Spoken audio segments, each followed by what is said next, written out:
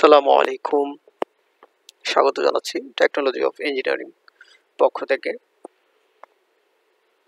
তো আজকের বিষয় হচ্ছে একটা বাসা বাড়িতে ইলেকট্রিক্যাল ডিভাইসগুলা কীভাবে একটার সাথে একটা কানেকশন করতে হয়, সেটা আমরা শিখব। আজকের যে টিউটোরিয়াল সেটা কিন্তু আমরা যারা হাউস ওয়ারিং করি, তারা কিন্তু তাদের জন্য এটা খুব বেস্ট একটা টিউটোরিয়াল এবং আমরা যারা বাসা বাড়িতে আমাদের যে ইলেকট্রিক্যাল কম্পোনেন্টগুলো রয়েছে ডিভাইসগুলো রয়েছে, যেমন light switch fan regulator socket এই সমস্ত ডিভাইসগুলো কীভাবে কানেকশন করতে হয় সেটা আমরা আজকে দেখে নেব।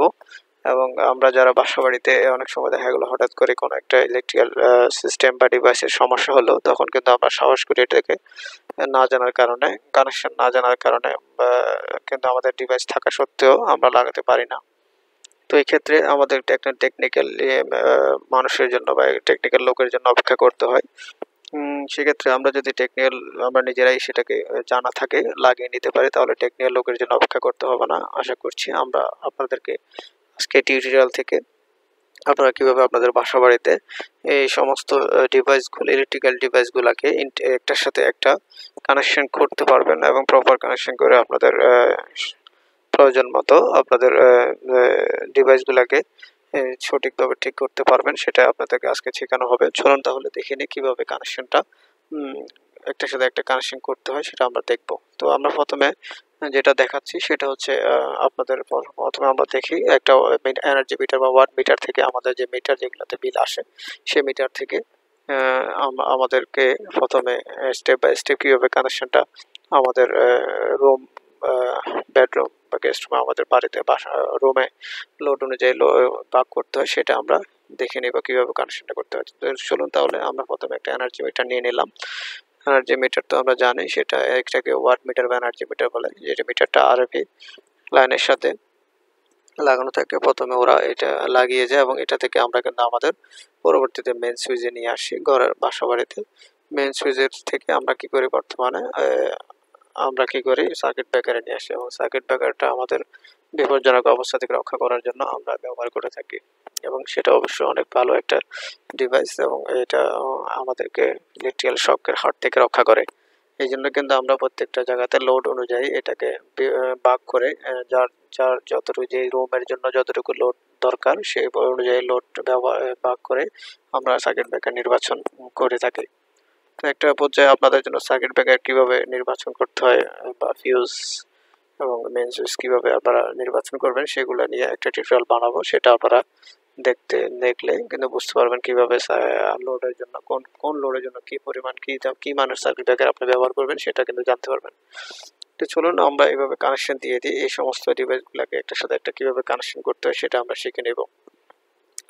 আমরা জানি আমাদের যে আরবি থেকে যে লাইনটা আসছে সেটা কিন্তু সিঙ্গেল ফেজ লাইন যেহেতু বাসা বাড়িতে আমরা সিঙ্গেল ফেজ লাইন এবং থ্রি ফেজ লাইন যেগুলো বড় বড় অ্যাপার্টমেন্ট সেখানে ব্যবহার করা হয়। এখানে আমরা সিঙ্গেল ফেজ লাইন নিয়ে আলোচনা করছি যেহেতু আমাদের বাসা বাড়িতে ম্যাক্সিমাম সিঙ্গেল ফেজ লাইনেই ব্যবহার করা হয় থাকে তো সিঙ্গেল ফেজ লাইন বলতে আমরা যেটা বুঝি সেটা হচ্ছে একটা ফেজ এবং একটা নিউট্রাল মিলে সিঙ্গেল ফেজ লাইন চলুন তাহলে আমরা ফেজ এবং নিউট্রাল কীভাবে আরবি লাইন থেকে এসে কানেকশন হয়েছে মিটারে এবং মিটার থেকে আমরা স্টেপ বাই স্টেপ কীভাবে কানেকশন করে সেটা দেখে নেব। দেখুন একটা ফেজ লাইনটা এসে মিটারের প্রান্তে লাইন এখানে লেখা থাকে লাইন এবং নিউট্রাল সেখানে বা এখানে কিন্তু লাগিয়ে নেয় লাইনে লাইনে একটা ফেজ লাইন লাগিয়ে নেয় নিউট্রালের জায়গায় নিউট্রালটা কানেকশন করে দিলে কিন্তু ফেজ নিউট্রাল মিটারে চলে আসলো। এখন মিটার থেকে আমরা কি করব? আমাদের ঘরের মধ্যে বা বাসার মধ্যে যে মেন সুইচটা আমরা লাগিয়েছি, সেই মেন সুইচের কানেকশনটা দিয়ে দেবো। তো চলুন তাহলে আমরা দেখুন, অপর প্রান্তে দুইটা প্রান্ত খালি আছে। সেই দুইটা প্রান্তে একটা লাইন একটা নিউট্রাল লেখা থাকে। সেই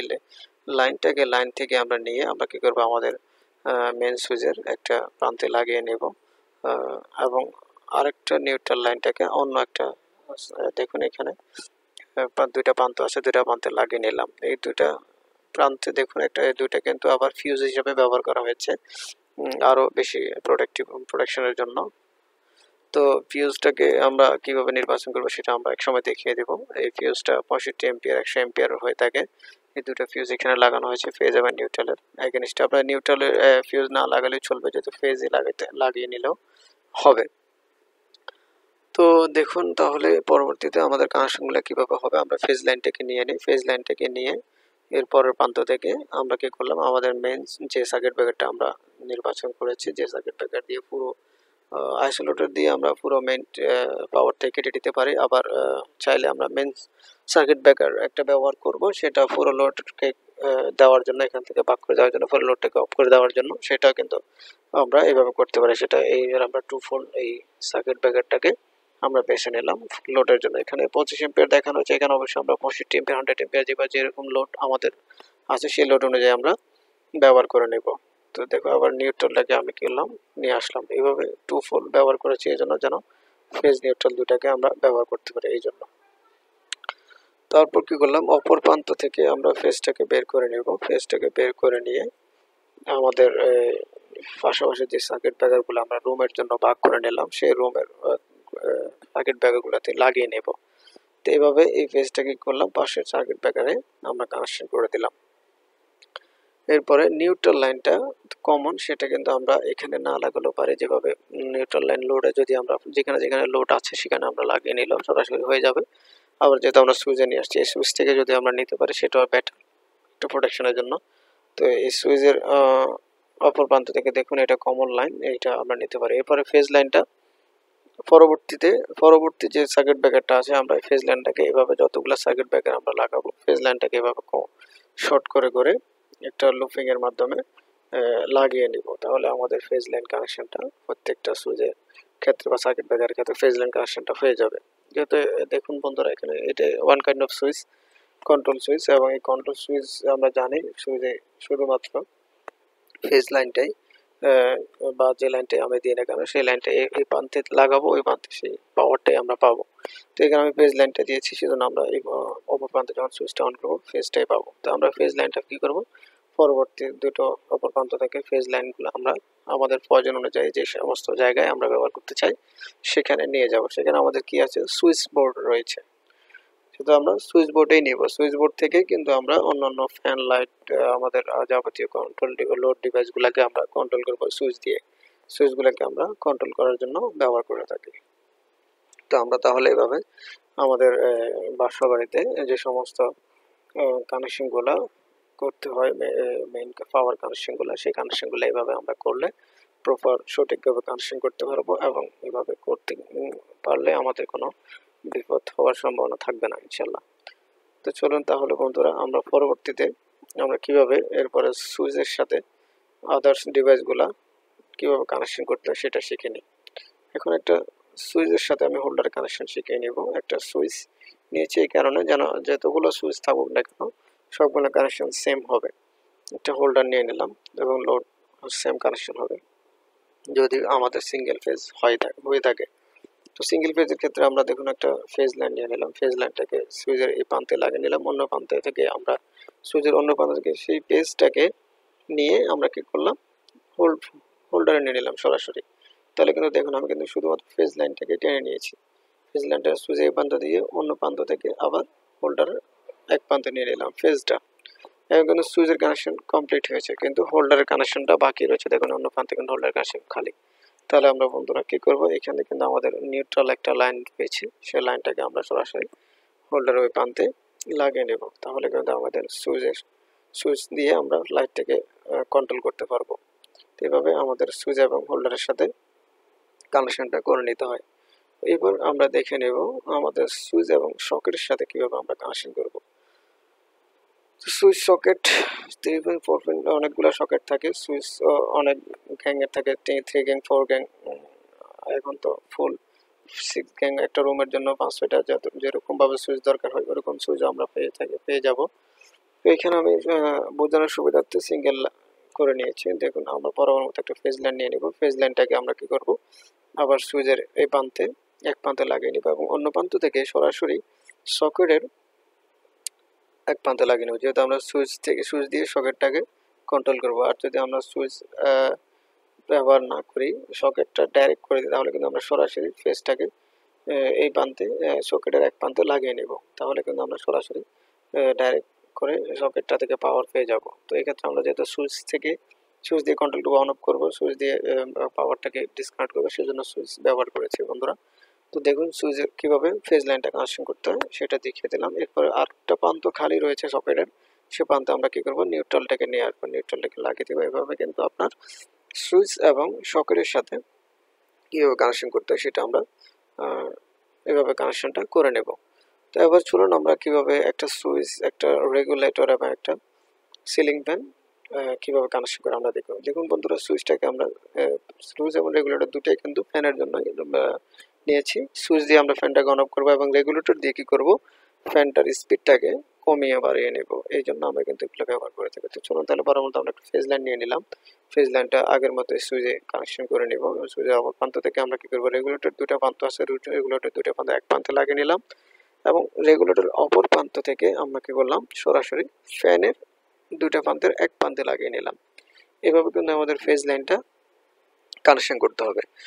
তো পরবর্তী দেখুন আমাদের সুইচ এবং রেগুলেটর কানেকশন কমপ্লিট শেষ হয়েছে, কিন্তু সিলিং ফ্যানে আরেকটা কানেকশন খালি রয়েছে। সেই খালি কানেকশনটাকে আমরা কি করব? আমাদের যে নিউট্রালটা আমাদের হাতে রয়েছে, সেই নিউট্রালটাকে সরাসরি লাগিয়ে দেব।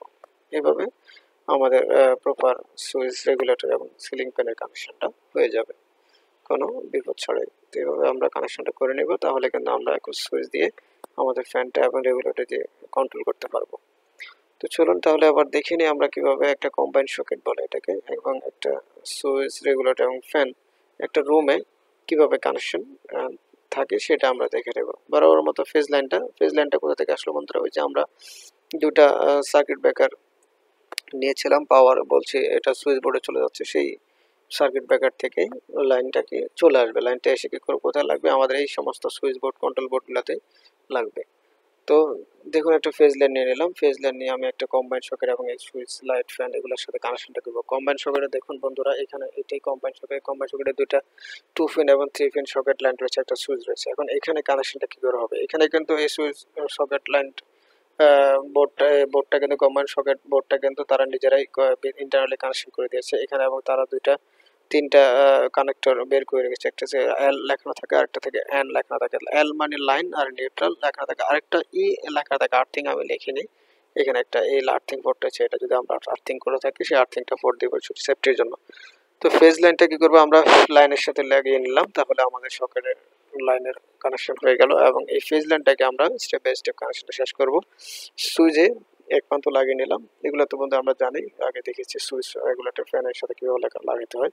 সুইচ আর প্রান্ত থেকে রেগুলেটর এবং রেগুলেটর অন্য প্রান্তটা আমরা সিলিং ফ্যানের এক প্রান্তে লাগিয়ে দিলাম এখন দেখুন আমাদের দুইটা প্রান্তে দুই জায়গায় দুইটা ডিভাইসে খালি আছে। এটা কিন্তু কমপ্লিট এই দুইটা জিনিস, দুইটা কমপ্লিট হয়েছে, কিন্তু ফ্যানের একটা প্রান্ত খালি আর সকেটের আরেকটা প্রান্ত খালি। সেইখান থেকে আমরা কী করব? হ্যাঁ আমরা বুঝতে পেরেছি অবশ্যই আমরা নিউট্রালটাকে লাগিয়ে নেব। দেখুন আমরা নিউট্রালটাকে বলা গেছে শর্ট করে আমরা আরেকটা লাইন নিউট্রালটাকে যে সিলিং প্যানে লাগিয়ে নেব। এভাবে কিন্তু আমরা আমাদের বাসাবাড়ির ইলেকট্রিক্যাল কন্ট্রোল ডিভাইসগুলোকে ডিভাইসগুলোকে একটার সাথে একটা কানেকশন করব। এবং যদি আমরা এভাবে একটার সাথে একটা কানেকশন করে নিই, তবে বন্ধুরা আমাদের কোনো সমস্যা হবে না এবং আমরা প্রপারলি কানেকশন করে আমাদের ডিভাইসগুলোকে চালু করে রাখতে পারব এবং আমাদের সমস্যা হলে সমস্যাগুলো সমাধান করতে পারব। তো বন্ধুরা, আজকে এ পর্যন্ত। তাহলে আপনাদেরকে পরবর্তী টিউটোরিয়ালে যেটা থাকছে সেটা হচ্ছে আমরা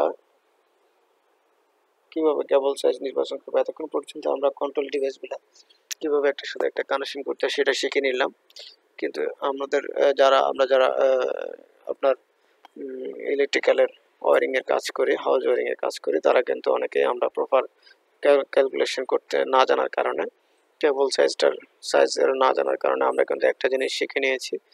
আরেকজন থেকে, একজন থেকে একজনের শিখে নিই। ওভাবে কিন্তু আমরা লাগিয়ে নিই। ওভাবে হয়ে যাচ্ছে, অনেক সময় সমস্যা হচ্ছে। অনেক সময় দেখা গেলো কস্টিং বেড়ে যাচ্ছে, অনেক সময় দেখা গেলো তার গরম হয়ে যাচ্ছে, বিভিন্ন সমস্যা হয়, বিপদ হয়।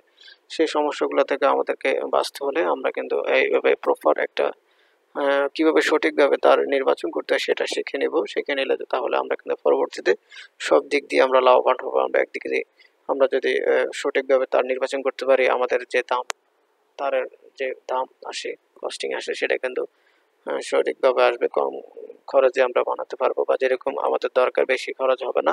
যদি সাইজ বেশি বড় নেই, তাহলে তো আমাদের বেশি খরচ আসবে। আর যদি আমরা সঠিকভাবে নিই, তাহলে কিন্তু সঠিক খরচটাই আসবে। আর যদি আবার কম নিই, তাহলে কিন্তু আমাদের লোডের ক্ষেত্রে আবার বিপজ্জনক একটা সমস্যা হতে পারে।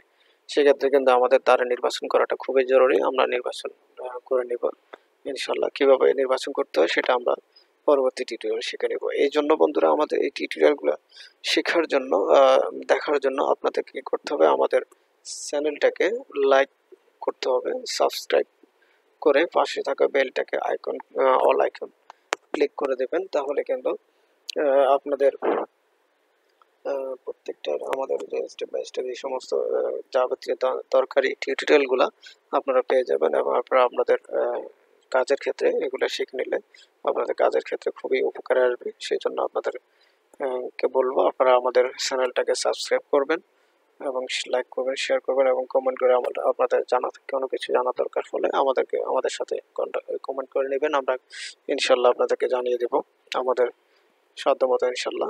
তো ভালো থাকবেন বন্ধুরা। অবশ্যই আপনাদের কাছ থেকে ইন্সপায়ারেশন দরকার। সেজন্য আপনারা আমাদেরকে লাইক এবং সাবস্ক্রাইব করে আমাদের সাথে থাকবেন ইনশাল্লাহ ভালো থাকবেন সবাই। আসসালামু আলাইকুম।